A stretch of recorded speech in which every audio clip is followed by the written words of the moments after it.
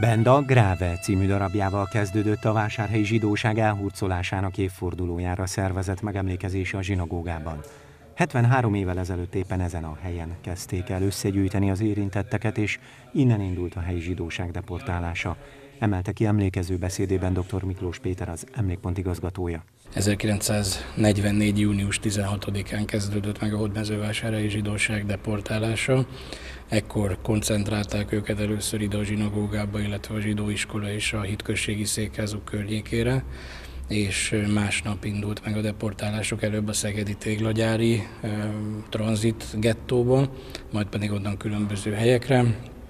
A szerelvények egy része, amelyen 800 nagyjából 800 vásárhelyi zsidó honfitársunk is eh, utazott egy része az Auschwitz, illetve lengyelországi megsemmisítő és haláltáborokba ment, egy kisebb része pedig Stászóba, Ausztriába.